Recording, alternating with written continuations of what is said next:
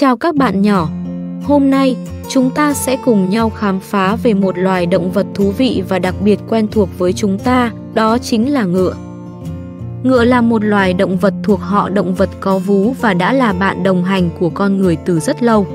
Ngựa không chỉ là những người bạn đáng yêu mà còn đóng vai trò quan trọng trong cuộc sống hàng ngày của chúng ta.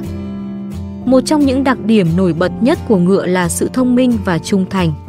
Chúng có khả năng học hỏi tốt và thường xuyên trở thành đối tác đáng tin cậy của con người, đặc biệt là khi chúng được huấn luyện để làm việc hoặc tham gia các hoạt động giải trí. Ngựa thường có bộ lông mềm mại và đa dạng màu sắc, từ màu đen, nâu đến màu trắng và thậm chí là màu hồng. Bạn có thể thấy những chú ngựa đẹp như trong cổ tích trên các trang sách và trong các bộ phim hoạt hình. Ngựa cũng có khả năng chạy nhanh và làm việc rất lâu mà không mệt mỏi. Trong quá khứ, chúng đã được sử dụng làm phương tiện giao thông và làm sức kéo trong công việc nông nghiệp. Ngày nay, ngựa thường tham gia các cuộc đua, các sự kiện thể thao và là bạn đồng hành với con người trong các trại ngựa. Ngoài ra, việc chăm sóc ngựa cũng là một trải nghiệm thú vị. Bạn có thể thấy những người nuôi ngựa thường xuyên trải lông, làm đẹp và tạo mối quan hệ thân thiện với những chú ngựa của mình.